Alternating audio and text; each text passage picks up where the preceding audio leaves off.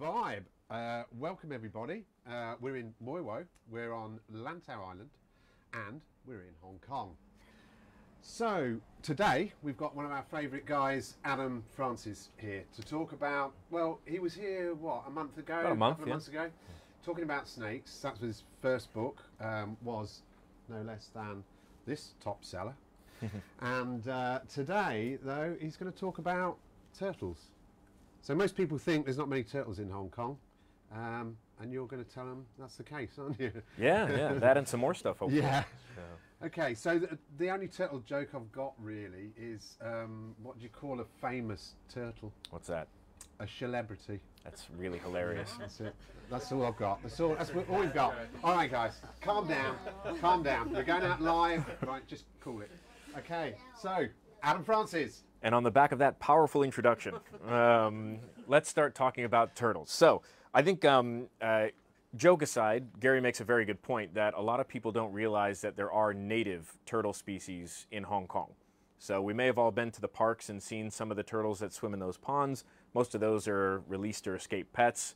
Um, but we have uh, several incredibly rare, um, incredibly unique turtle species here in Hong Kong. And Hong Kong, as we'll talk about a little bit in the presentation, is actually one of the last wild bastions for native turtle populations of these species that used to be much more widespread around Southeast Asia and southern China. So, without further ado, maybe we can jump in. And because it's always a bit nerve wracking to present to a group you've not met before, I like to put the audience on their heels before I get on my heels. So, we're going to start with an audience aptitude quiz. And uh, no comments from the crowd if you know the answer out loud.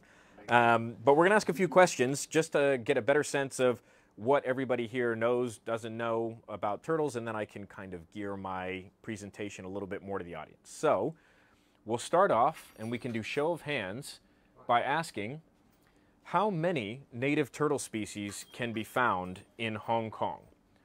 Oh, I bet you can guess now.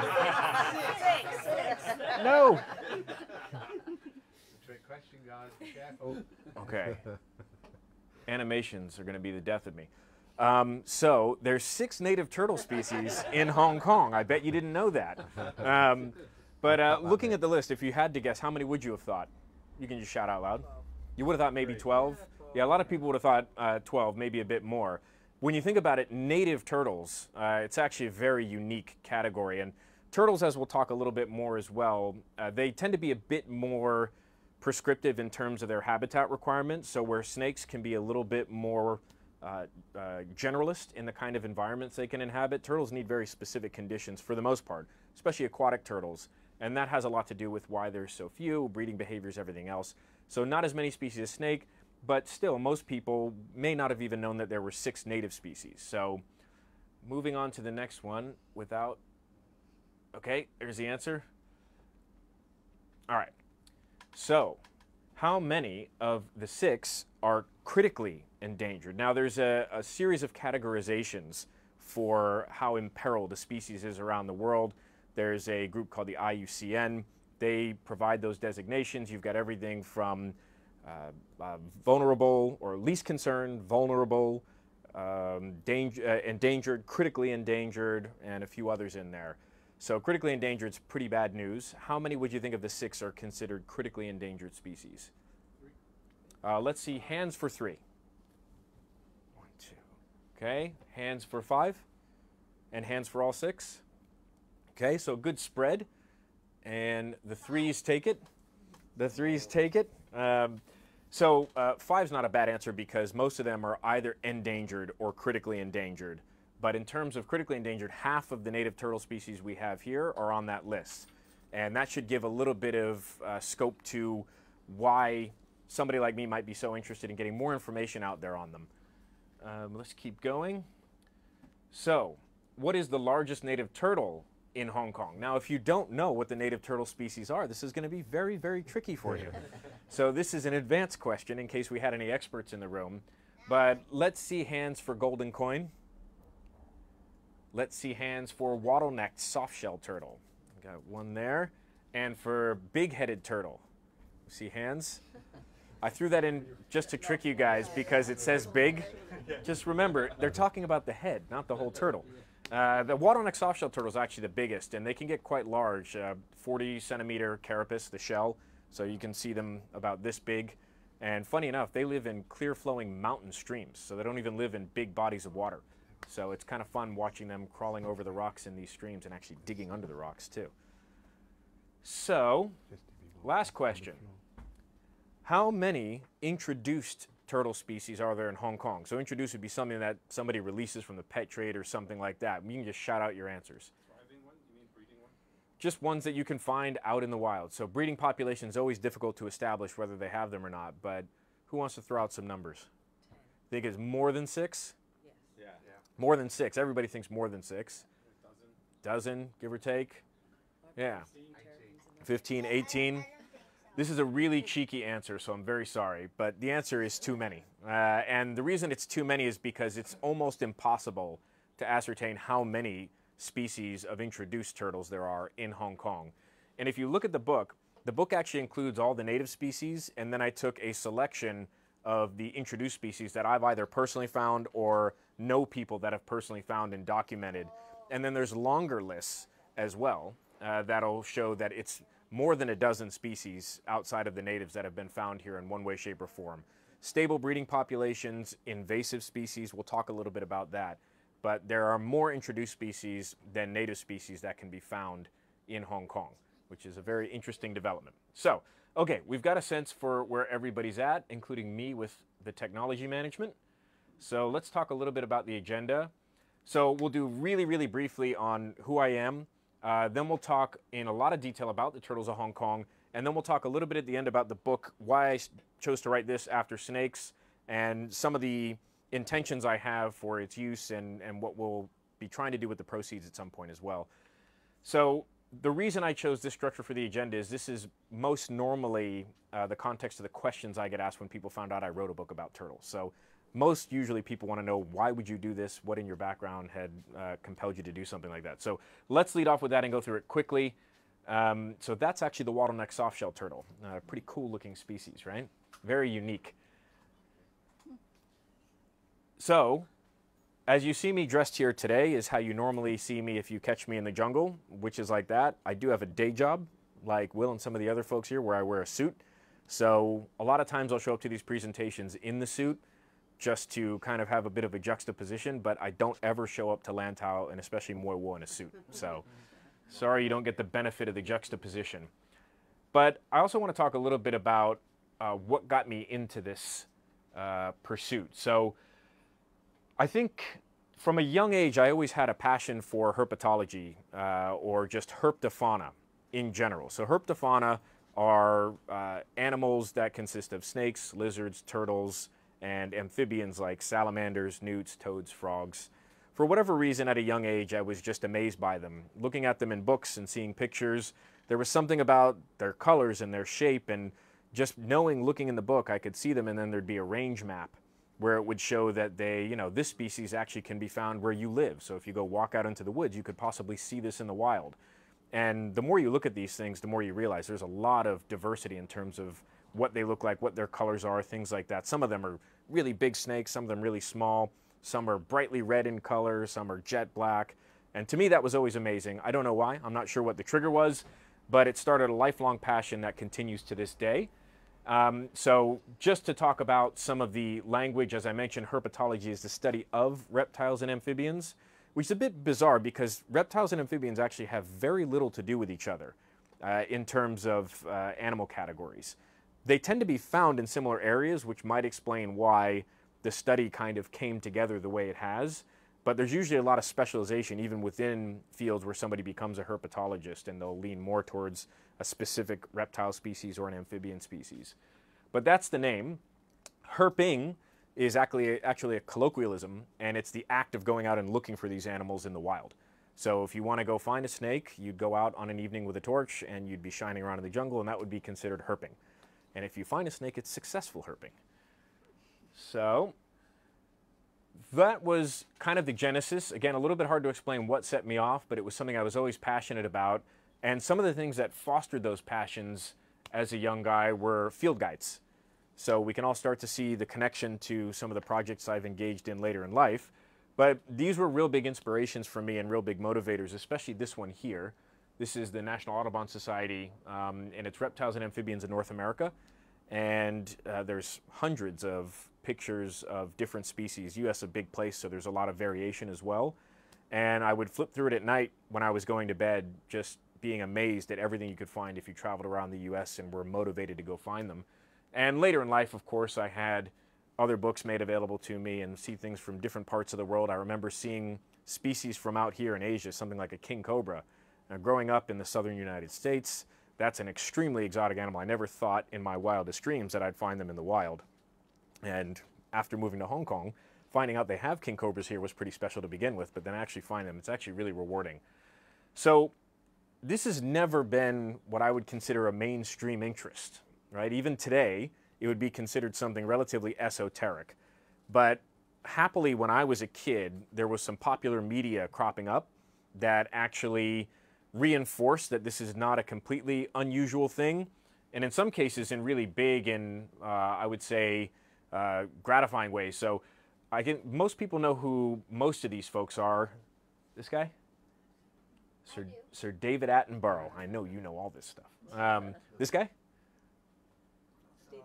Steve Irwin, the crocodile hunter. So these are super famous guys. This guy maybe not so much. Um, this is Mark O'Shea. So Mark O'Shea is a uh, professional herpetologist. He's a legitimate scientist and professor, and he had some shows on Discovery Channel.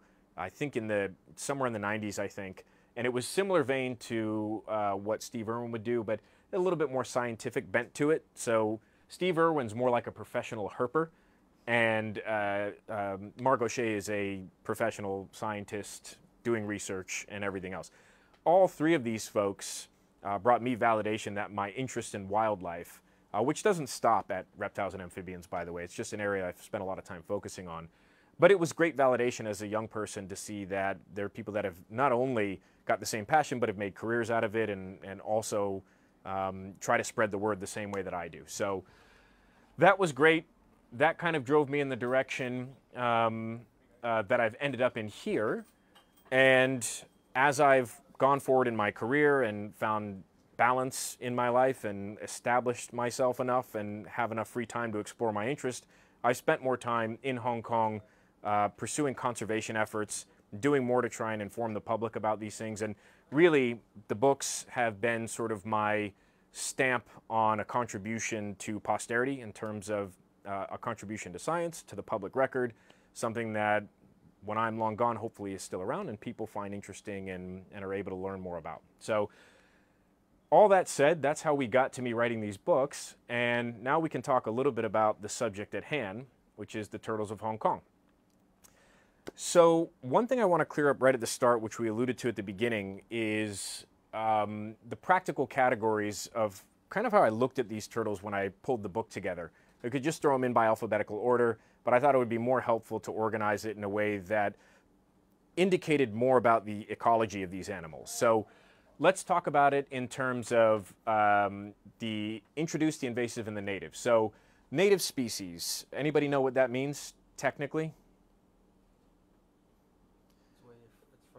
It's originally from that area or naturally migrated into that area over time, uh, but it was not brought in by external means. So very, very straightforward. Uh, no fuss, no muss there. Uh, that's going to be the focus of much of what we talk about today. Uh, but then we have something called introduced. So introduced, pretty straightforward. It's been brought in, uh, usually through the pet trade. Um, usually through the pet trade. Sometimes they can come in by mistake, depending on the species. Uh, so maybe a juvenile turtle gets brought in uh, in an egg that's buried in a potted plant and hatches and escapes. With turtles, probably a little bit less likely than something like some of the small snake species, but it can happen accidentally. Usually with turtles, it's from the pet trade. Um, so then we have invasive. Why is there a distinction between introduced and invasive? Anybody know what an invasive species would be categorized as? 100% correct. Damaging the space. So it's an introduced species that is what I like to say, exceptionally successful in its introduction to a new environment to the detriment of local flora and fauna. So there's a reason that that species is shown there. Get back to that. This is the red-eared slider turtle, and this is actually, uh, I grew up in Southern Virginia, which is the native range of that species, so we used to find them all the time as kids. This species in particular is incredibly hardy. It can deal with cold weather, warm weather. They're omnivorous like most turtle species, so they can feed on just about anything. They're very, very aggressive and they breed very successfully as well. And this species is invasive in Hong Kong because it is destructive to the environments where it proliferates. So they destroy local plant life, they bump out local species of turtle, often other species of herpetofauna, and generally speaking, uh, don't do any favors to the local environment. Uh, so that would be the only species here that I would consider probably legitimately, demonstrably invasive. You can also have introduced species that become established, but don't necessarily throw a big spanner into the works in terms of the local environment. So they can they can live relatively harmoniously. They don't over proliferate. They're not aggressive towards other species and it can be a bit of a balance. You also do have introduced species that don't make it here. So maybe they come from somewhere further in Southeast Asia. You find one during the spring when it was let go. Come the middle of winter, things are too cold and it doesn't work out too well. So a lot of good reasons not to introduce different turtle species into a, into a new environment. But so this we talked about. Uh, native, it's where they're originally from, where they evolved, or where they migrated to naturally. So this is a picture of the native turtle species. It's not exhaustive because there are a few different looks, but I want to talk a little bit about each one really quickly so you get a better idea on what we have here. So these two are the same species. So this one down in the corner is actually a juvenile of this one, which is almost an adult. Uh, you can see it's almost an adult because it still has that juvenile stripe right behind its head. That'll fade entirely by the time it's fully matured. But anybody want to guess which turtle this is? It's got a really big head. All right, big-headed turtle, you know. And uh, the little guy there knows because he found this one with me. Um, so the big-headed turtle is one of, if not maybe my favorite species in Hong Kong. It's tough to beat this guy. We'll talk about that in a minute. But the big-headed turtle is an incredibly unique species. I know, bud. Um, so why is it such a unique species? Well, its name indicates one part of its uniqueness, uh, its morphology. So big-headed is not a euphemism for anything else. It literally has a head that's too large to fit inside its shell. So if you look at it from an overhead shot, you can pull its arms in, it can wrap its tail around the back. The head is always sticking out the top, like a big spear tip. And because the head is always exposed, it's actually got a lot of keratin on the top, like a shield. So its head is almost like its shell, really, really robust. And there's a lot of reasons you could postulate why it evolved that way, but it has very strong jaws uh, for uh, catching its prey and eating whatever it chooses to munch on, which they're omnivorous as well, so they don't only eat uh, animals, they can also eat plant matter and things like that. Uh, they could probably crack snail shells with that mouth, which is uh, not an unlikely food source for them. But uh, they also have really interesting shells because their shells are really quite flat, like a pancake. Uh, and then their tails are exceptionally long for a turtle. You can see here the tail's wrapping all the way around. And you don't see, I mean, this is a normal sized tail for a, a box turtle, stubby little thing. You don't even see this tail, tail sticking out on this or this. Incredibly long tail and really powerful hands. So these turtles live in steep, fast flowing mountain streams at high elevation. Well, high to mid elevation. So if we stop and think about it, there's a reason for all of this. So the pancake shell, why do you think that might be useful for a turtle that lives in rocky mountain streams? Get under rocks. Get under rocks, exactly. And they've demonstrated that behavior in front of me many, many, many times. They can wedge in under a rock.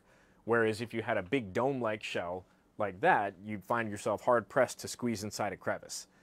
So long tail, anyone think of a reason why it might have an exceptionally long, really robust tail? Well, they're really, really, really good at climbing flat rock faces and up waterfalls and everything else. And the tail is actually part of its climbing technique. It can use the tail to push off against rocks and things like that. Very unique adaptation for a turtle species.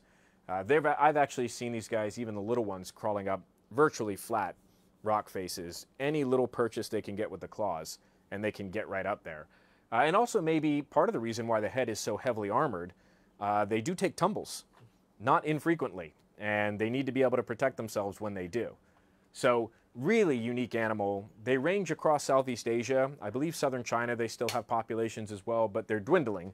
They're a very, very common animal to be poached for largely the pet trade. I don't know if there's uh, traditional Chinese medicine application, but for both those reasons, they're probably poached. Definitely for the pet trade, they're a big target, including here in Hong Kong. And I do want to talk a lot about poaching at the end, which is still a very serious concern, including here.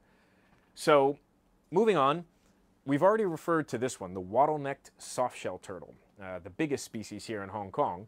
And like most soft shells, it's got similar morphology. So, anybody know why we call them softshell turtles? It's not a trick question. It's not a trick question. Yeah, they instead of instead of having keratin uh, on top of their carapace, they have skin. So it actually feels a little bit like leather. So really, really kind of rough skin, and you can feel underneath every turtle uh, they have modified ribs that form. They they kind of really long, but they flatten out, so they form a little bit of a shell under the shell. And normally you have these kind of hard scutes develop on top, keratin just like your, your fingernails uh, on the outside. So these turtles have a leathery shell, a really flat leathery shell. And for a turtle more like this, which is the Chinese soft shell, and the kind of soft shells that I grew up with in the United States, they live in muddy rivers and muddy ponds, slow moving bodies of water normally, not always, but normally. And when they have these kind of shells and they get in the mud, you can't see them at all. And because they're in muddy environments, normally you wouldn't need like a hard shell to kind of stop from abrasions and things like that. the skin's very tough. These have all the same morphology as the soft shells that normally exist in muddier bodies of water, but these live in really, really rocky, clear flowing mountain streams, usually at kind of mid elevation, mid to lower elevation. And they're really, really interesting. These, their shell, they look like a river rock. When they're juveniles, even more so than when they're adults. But they're also capable, if you can see here, look at these claws. These are really, really robust claws. They can actually move big river stones and hide under the rocky riverbed. And as soon as they get in there, even if you can see, you know, 50, 60% of the shell, unless you saw it go in there, you wouldn't know that it was a turtle. So it's actually really well adapted for the environment. But to me, it's always been interesting and a bit counterintuitive that something that lives in such a rocky environment has such a exposed external development. So really interesting either way. And you can see, we'll talk about the Chinese soft shell at the same time, they've got some other adaptations. What's the biggest thing you notice about these guys? Aside from the fact they have a soft, flat shell. Nose. The nose. The nose is the first thing that usually jumps out to people. And it's elongated, right? What would be the use of that? Seems like it'd be in the way. If they're attacking something, maybe it could get them. 100%. So they don't want to come out of the water to have to breathe. So these are highly aquatic species. So these are also highly aquatic, but they can manage on land, not too bad. Uh, these are highly terrestrial, actually. They like to walk around on land. These, I mean, even if you look at their arms, they're fully webbed the whole way across. I mean, this is an aquatic species of turtle. They like to be in the water. They don't like to be on the land for the most part. And they also have exceptionally long necks. So a wattleneck softshell might have a neck this long when it's fully extended. And adding that little bit on top of the nose means they can stay buried in the rock, extend the neck out above the surface of the water, take some breath, and then go back down without ever having to come out again. So it's, a, it's an adaptation for the way that they live and survive, and it occurs in both species. So Chinese softshell, we already talked about that. You'll find them in ponds and rivers, very similar adaptations. The big difference between the two is these almost never bite, and these bite every single chance they get, very aggressively. And because their neck is so long, you could be holding them on the side and they can come around and hit you. You got to hold them right from the back. It's really tricky, actually. So, talk about this one really quickly. This is the male. The female has some yellow lines on it. This is the Reeves terrapin. So, this is also a highly aquatic species. You can find it in rivers and ponds, new territories, some of the farmland up further north, and things like that. Uh, not too much to talk about. It's omnivorous. Uh, it's a really interesting species. It has slightly elongated nose and um, used to be quite prolific. Uh, they are actually in the pet trade quite a lot now too, which is interesting because we'll probably have this merging of pet trade animals you find in the wild and uh, original inhabitants that you'll find in the wild. And there's some challenges that come with that too. Different types of diseases can proliferate in pet trade and be introduced, and all sorts of things like that. But generally speaking, it's not super common, but not maybe as uncommon as some of the others. Before we talk about this, which is arguably the most special, uh, we'll talk about this, which in my opinion is the most unique. This is uh, a Beale's four-eyed turtle. So, you can tell just by looking at it, it's actually really amazing coloration. The red stripes on the black, and if you look, it's a bit hard to see on the screen, but their eye has this ruby red streak on the bottom that if you hold it up, it looks like there's an LED backlighting it. It's really, really bizarre sort of coloration for a turtle. And this happens to be the male. The female is brown in coloration, and both of them, the male and the female, on top of the head, which you'll see a little further down, they actually have markings that look like eyes. So the female has really bright yellow ones. They stand out incredibly uh, strongly, high, very high contrast. The males are the same color as the head for the most part, but the markings are still there. And these also live in fast flowing, clear streams. Much smaller species, about this big around when they're fully grown. Uh, really interesting adaptations for defense. They have a really strong musk. So if you pick them up and they're scared, they emit this musk, which is very, very, very smelly. And a lot of the species in this genus can do that. And um, it's a unique adaptation. So a lot of turtles can do that actually, but theirs is particularly pungent. So last but not least for the natives, all right, you can tell us what it is. A golden coin turtle. It is a golden coin turtle. Very well done. Uh, so the golden coin turtle is arguably the most rare species to find here. It's certainly one of the most difficult. That may have more or less to do with its amount of proliferation, uh, the amount of uh, animals that exist, and more to do with its behavior. It tends to be a little bit higher elevation. It's, I, in my experience, they're actually quite terrestrial. They're, they're very aquatic as well. They swim a lot. People find them in streams, but I find them spending a lot of time on land. They do like to burrow in to the leaf litter, which may have a lot to do with why they're found a little bit less. It's harder to find an animal burrowed into the leaves unless you're bushwhacking, and even then you won't see it. In a stream, something's moving around. If you've got a flashlight, you could arguably uh, have better luck finding them. But they're really, really special animals. First of all, they're quite pretty and quite cute. When you turn them over and look at them from the bottom, they actually have bright pinkish orange limbs and a jet black uh, shell on the bottom, uh, the plastron. And it's really high contrast. They're really gregarious animals as well, like a lot of box turtles are. So uh, maybe I should cover that really quickly. Does anybody know why we call it a box turtle? It's also very straightforward. Why do we call it a box turtle? It closes up like a box. It closes up like a box, and it can do that because the shell on the bottom is hinged. So all of these other species you see here, there's no hinge. So they can pull into the shell, but you can still see them through the open areas. Uh, these turtles, once they pull in, the shell closes entirely. So it's entirely closed off. Uh, and this is from a genus, uh, the genus Cuora, which are all box turtles. They have hinged shells. They can all close up like that. And around the world, there's a number of species that are capable of doing that, which as an adaptation, a natural evolution, it kind of makes sense.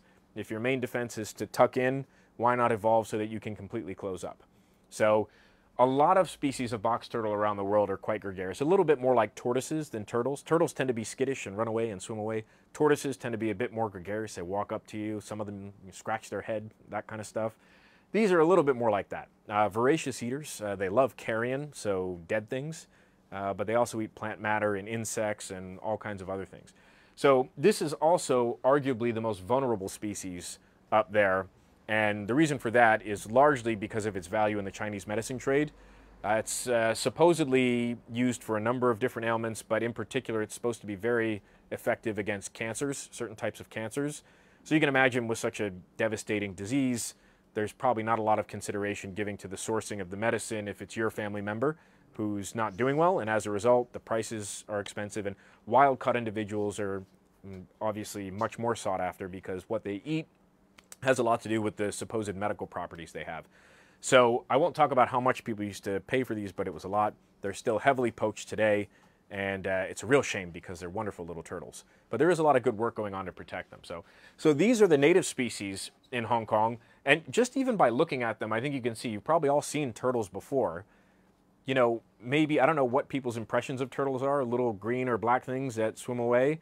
These are really morphologically unique in terms of the way their their physical bodies are structured. Everything from the big-headed to the um, soft shells and the golden coin. Really unique species, really beautiful, really wonderful.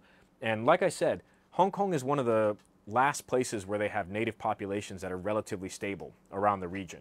And it has a lot to do with the way this place is shaped, but also, even though we have poaching, there is a lot of focus on the environment in Hong Kong. I know it doesn't always feel like that to people who spend a lot of time outdoors or want to see more, or maybe come from places where things are even more rigid. In the West, obviously, there's a lot of laws and a lot of uh, hands on enforcement and things like that. But as Asia goes, and I think even in general, the population is very outdoorsy now in Hong Kong, and there's a lot more attention being paid on wildlife. And I think it has a lot to do with why they're able to maintain wild populations. So that's the glass half full scenario.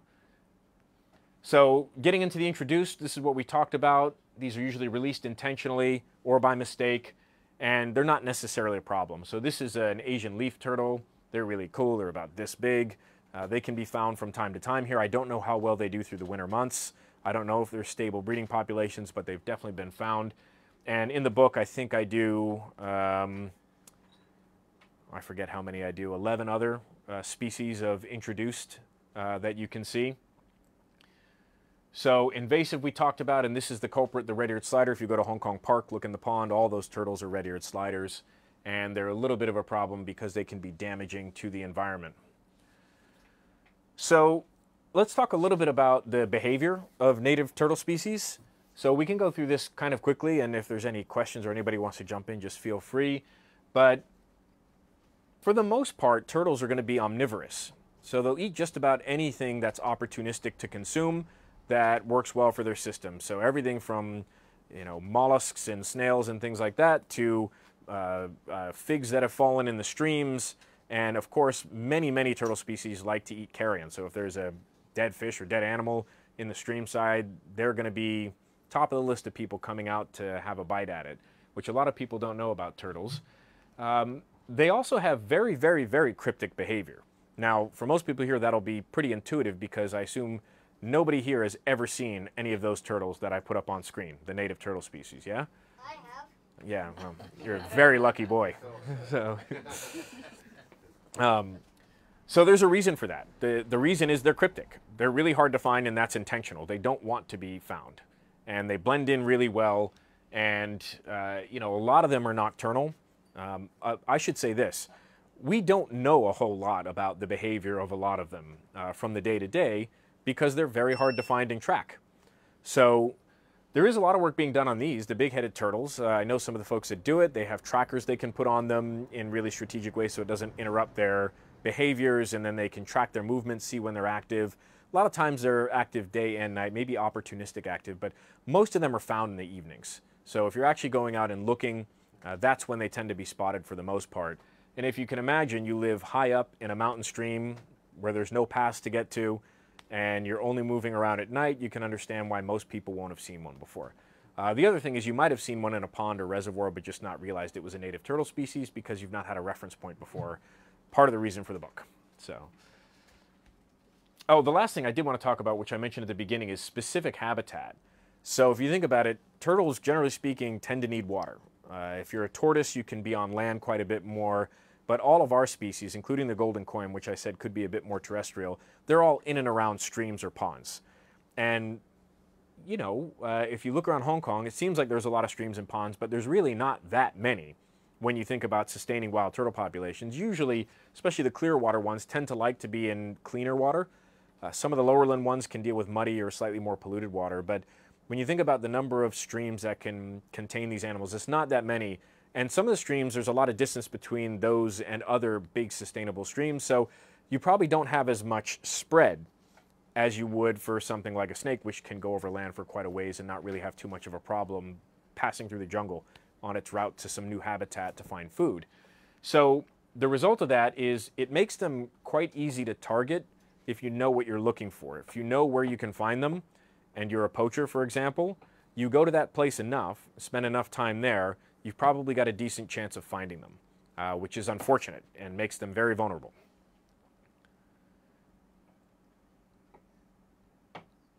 All right, so I've gone for animations again, which never works out well.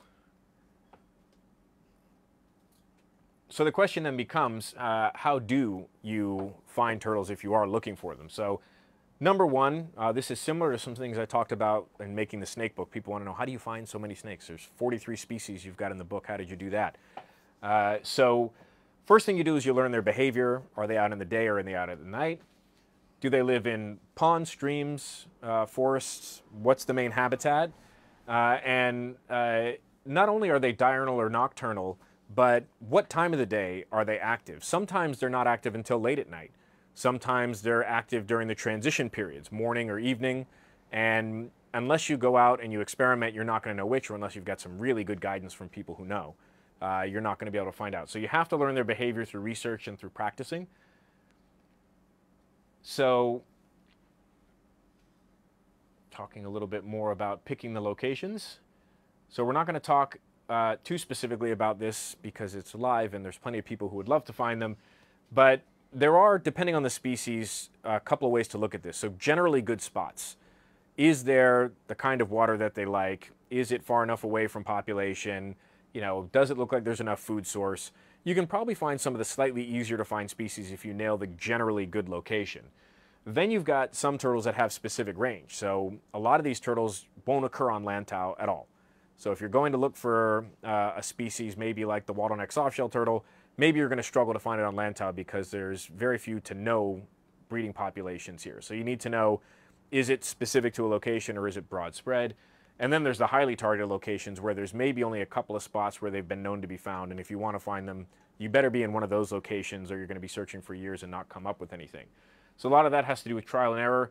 Uh, but it also has to do with networks, working with uh, professional groups, conservation groups, uh, scientists, things like that, trying to avoid tips from poachers. Oops, so we have a remnant snake here.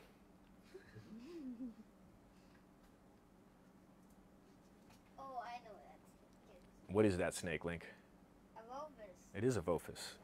That's the scientific genus name for the mountain pit viper. So, uh, seasons and conditions also really, really important. So, are you going to find these things midwinter? Some of them, yes. Uh, some of them, no. Some of them are going to brumate during the winter periods and not be out there. Um, moon phase. Anybody know why that might be important for finding certain species? Well, think about if you spend all your time being cryptic, trying to hide, to protect yourself, and maybe even to hunt. If the ambient light is much brighter than normal, your chances of success might go down, or your risk of coming out might go up. And so, if you're an animal who's depending on not being eaten, it's okay, bud. It's not a question right now. Um, if you're depending on not being eaten or finding food that depends on you being cryptic, you might take a day or two off if the moon is out and the ambient light is really bright. Most of us have been out on a beach at night with a big blue moon and it's casting shadows along the beach. You don't need a torch. Uh, that's not a really, um, uh, hey, buddy. Um, that's not a really good environment for a turtle who depends on crypsis. So, and time of the year we already talked about. So, it's supposed to be turtles. We have some overlap here, guys. I'm very sorry. Um, so we talked about this. Uh, you have to do your research. You have to have a good set of responsible contacts. Like I said, you don't want to tap into a poaching network if you're doing work that's intended on helping the conservation of a certain animal. Uh, but the scientists tend to be very, very open to working with people who are reasonable um, and testing ideas. Like I said, a lot of this information is actually not even known within the scientific and conservation communities because thinking about how you learn about an animal that only comes out late at night, high up in mountain streams, that's just hours looking for them, finding them, and watching their behavior live. So, you know, if you're running a lab or something like that, you can only spend so many hours in the field doing work and you've got lots of different priorities. So, to really understand a specific species, you either have to be focused on that species as part of your life's work, uh, or you have to have people who are passionate about it doing it on the side and collecting the information, which is what I ended up spending quite a lot of time doing in the compilation of the book. So this is something I like to talk about anytime I talk about any engagement with wildlife. So it's not just the snakes and the turtles, it's everything that I find interesting, which is pretty much all living animals, bugs, birds, mammals, and herpetofauna. So, oh. so interacting with turtles, let's talk about first the grounding that I use when I consider this. So I looked up the Merriam's uh, uh, definition of ethical, and involving questions of right and wrong behavior, following accepted rules of behavior, morally right and good. a lot of wiggle room there, depending on how unscrupulous you may or may not be with your definition of ethics. But I think it's a good grounding for considering anytime I have an interaction, what's going on, what am I doing, am I being responsible, am I being ethical? And then because I actually get a lot of exposure to each of these three bubbles in the course of the work that I do, I think I've been able to kind of step outside of it all and objectively consider what makes the most sense in terms of an interaction, depending on your perspective. And for a person who really has a lot of respect for the science, who really appreciates the passion of the conservation crew, even though they can be quite militant sometimes, um, but then also understands the importance of exposing people to uh, the wildlife.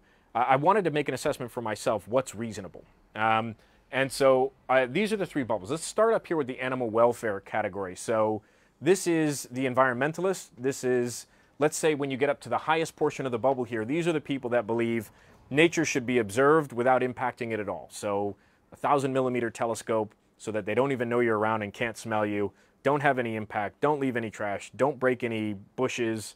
You know, that's the furthest part north is don't interact because you'll disturb them and you'll damage it and it'll be ruined for other people and so on and so forth. You get a little further down in the bubble, more towards the middle, and then it's just be respectful, don't be harmful, all that kind of stuff. And generally speaking, I, I, I tend to be a little bit further down on that one. Then we go to the science. So, you know, again, here in the most extreme sense, zero interaction is the best approach uh, to being ethical when you're coming at it from that angle. And there is merit to that. I completely understand why some people look at it that way. When it comes to science, people don't usually complain about scientists' interaction with wildlife, right? You don't hear that very often. But is the scientific interaction with wildlife in line with the zero interaction? No, no, no. It's quite the opposite. So, uh, you know, for scientists, the more specimens, the better when you're studying something, right? And does everybody know what a specimen is? Yeah. Well, it's something you collect. And is it alive when you're done with it? Not usually. Not usually, right? So that's kind of the antithesis to this view, but everybody kind of understands why it happens, right? So there's a there's an exploitation there, but people believe it's for a purpose that's more valuable than the loss of the individual specimen. At least that's usually the argument. You don't see a lot of people picketing outside universities saying stop collecting specimens. So there's actually a lot of interference here. Generally speaking, though, they're pretty respectful of the environment they're in when they're doing it. They're pretty targeted and things like that. But it's high interaction. Then we come to the third bubble. This is the one where most people are going to have the most complaints, but arguably might actually add more value than the other two, depending on how you want to look at it. So this is really hands-on engagement. So think things like uh, petting zoos, um, big national zoos, things like that. And this is all about public engagement, but it's uh, a complete antithesis to pretty much the other two because you're bringing animals, putting them in a captive space. So I've been to plenty of zoos where I can completely get on board with the idea that this is not a good thing. But I've also been to some places. I was in Singapore earlier this year, spent a lot of time at the Singapore Zoo, and it's hard for me to say that what they're doing there is a bad thing. So, yeah, you went there a lot. So, in a lot of ways, actually, if you think about it, uh, a research paper comes out. So, for example, do you guys know anything about snakes here, or all general uh, generalists? We know you do. You gotta. We need you to calm down over there, buddy. Um, so, in in general, people know about snakes in Hong Kong. Okay, so in general, so there's 43 species here. Actually, that's not true. There's 45 species here. And one of the reasons we know there's 45 species is the many-banded krait, the black and white one, that's really toxic. A lot of people know about it if you get into snakes, even a little bit here. We just recently found out that there's actually two species of many-banded krait. Did any of you know that? No, uh, because where does the information where does the information reside? I mean, it's sitting in scientific research papers and being discussed in the scientific community, and that's where it should be discussed first. But at what point is the general public going to know that that exists? Well, maybe when I do volume two or uh, or second edition of the Snake Book, it'll get out there a little bit more broadly. But if you don't have broad scale public engagement, all the work you do to conserve wildlife, all the work you do to understand wildlife so that arguably you can conserve it and interact with it better, I mean, how much traction does it actually get us? And that's where I say there's a lot of value when this is done ethically and responsibly, even if you disagree with it. Getting somebody like this little man who's clearly engaged uh, with wildlife from a young age, getting him engaged might carry through his entire life and end up in doing something much more meaningful than any of us did because we didn't have the same engagement, we didn't have the same exposure early on. So there's huge amount of value here, even though it's the easiest to criticize, um, because it is often done poorly. But guess what? Science is done poorly quite often. Um, environmental protection is done poorly quite often. Uh, none of these are perfect spaces, but all of them, when looked at reasonably and we understand the point of them, I think uh, have a role to play when considering our own interactions. Certainly for somebody like me who's interacting not necessarily as a layman, but not as a professional per se. And that's kind of how I've gotten to the way I decide to engage. And it's with these motivations engagement, appreciation, um, garnering funding. You know, people need money to continue their pursuits, whether it's conservation or scientific research or hosting animals for the public and maybe even having breeding programs and things that protect their populations in the wild. So, what did that mean in terms of my engagement style? Well, as a single human being who's not working off a platform provided by anybody else, I figured I should provide my own platform. And I started with photos. So, one of my biggest motivations was learning photography well enough to be able to produce the kind of images I used to read or see in National Geographic and in the field guides that I fell asleep flipping through the pages of. And I spent a number of years doing that. A natural follow on to that was to create a website for first the snakes, and the turtles are on there now too. Then there was an extension into video with a YouTube channel where I take people out into the forest with me uh, on my excursions so they can see me finding animals and interacting with them responsibly and getting to know them a little bit more in a visual medium, which tends to go over quite well, and ultimately has culminated in the book. So these were all things that I had within my control, and trying to do them in a way that represented the center portion of these three dynamics was really the approach and the motivation. So a lot of thought went into, I guess the, the point of all this is a lot of thought went into how I pulled these things together, not just getting them done. Uh, and hopefully that comes through for anybody who ends up looking at and reading it. Now, there are a few things that I think don't fit in any bubble, and it's really down to two things poaching and habitat destruction. I don't think there's a great reason for any of it. Habitat destruction, certain cases you can make some arguments, you know, there's trade offs in everything we do. But generally speaking, where we know there's vulnerable animals that exist, it's probably best we don't destroy their home because that's a guaranteed death sentence. You don't, you know, relocate from those kind of things. And poaching is just a selfish activity. Somebody does it to make money. Uh, you know, maybe the very end cause, if somebody has cancer and needs a golden coin turtle to treat a family member, I can empathize a little bit at that far end of that chain of events. But the initial action of taking an animal out to make money, I know people try to feed their families and everything as well, but it's an exploitation.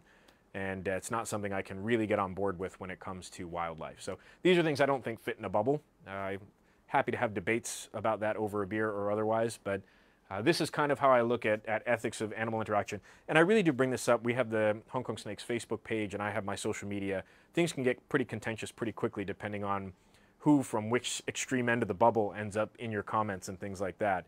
And so I think it's important to kind of discuss it and, and you know, put it out there in terms of how I do these things. So, being safe is important. You know, there's treacherous habitat. I walk alone in streams at night sometime, which is not the smartest thing to do. If you fall down and bump your head in a river uh, by yourself, it's probably more dangerous than going out and finding a king cobra, actually. Uh, and I can tell you this much I've had more close calls slipping on rocks in rivers than I have um, almost being bitten by venomous snakes, which has pretty much never happened to me. So, gives you some context for snake safety as well, I suppose. So, we'll talk just really quickly about writing the book and then we'll wrap it up and we can chat and answer questions if anyone has and maybe I'll close off and talk a little bit about the snakes book too. But so writing the book, I mean, what got me into it? It started like I mentioned on the previous slides. I started photographing these animals because I wanted to produce the images I saw in books, and it became a very organic process to then create the website um, and then getting insight from social media uh, was also really helpful because I'd produce these things and I'd put them out.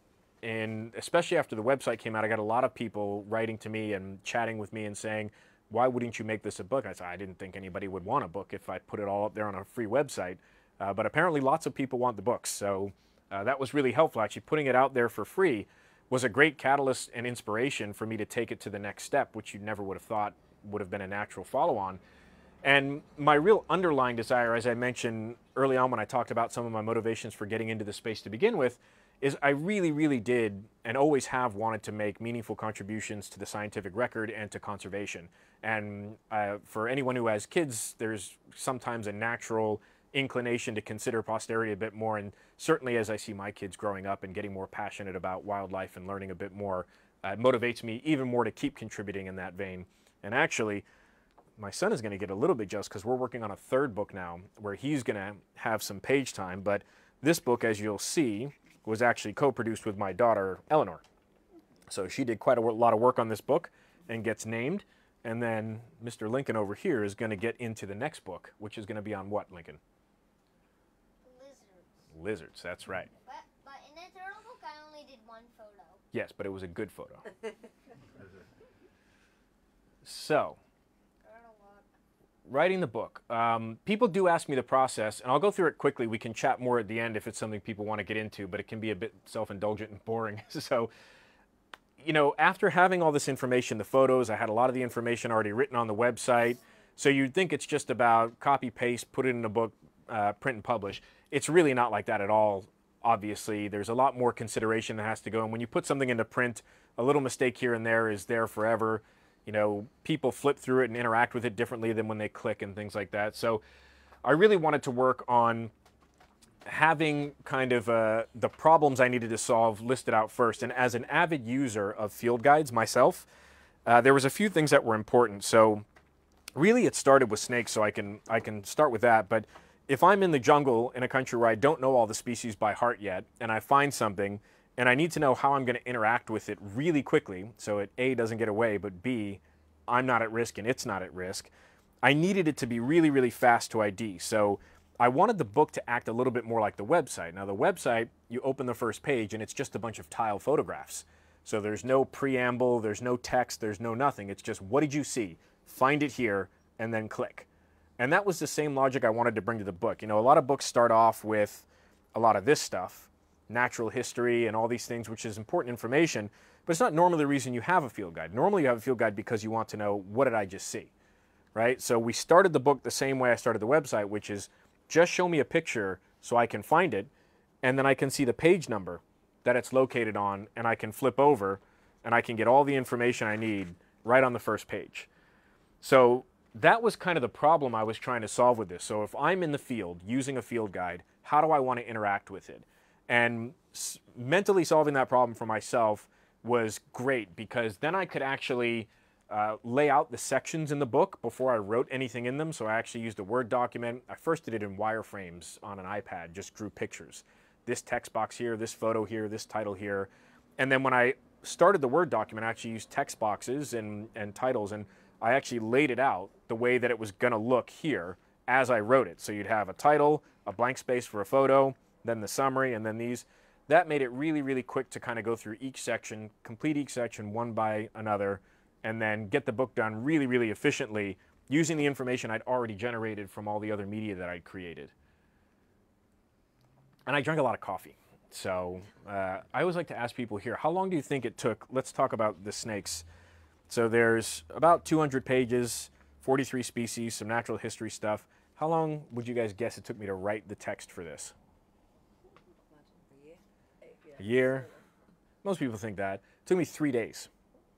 That was 18 hour days uh, and a lot of coffee. But you have to remember the, the information was already top of mind because I'd, I'd written it all. It was all on the website. I could reference back to the website really quick if there was a detail that I missed. Um, but really, it was about the structure. Now, to get the book done took about a year because you go through the first draft, then there's editing and there's rewriting and things like that. But the first dirty, rough draft of the text took about three days to get from. Now, the website was evolving over the course of a year and a half, two years. So there's all that back work uh, in terms of what went into me being able to put it all down in Word in three days. Uh, but because I had the structure and all the back work, it ended up being very quick to get the draft of the book written. Uh, actually, it took longer to decide on photographs and, and all that kind of stuff than it did to actually write the core body of the text.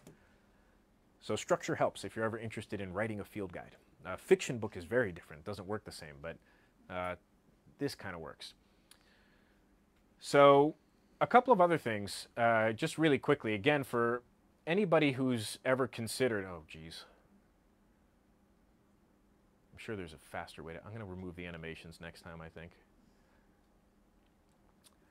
So, just real quickly, in terms of producing the book, um, you know, I think this is important. So, I ended up self publishing. So, there were conversations with some publishers, and I learned a lot about that business, which I understand they have their constraints. This is a money making effort for them.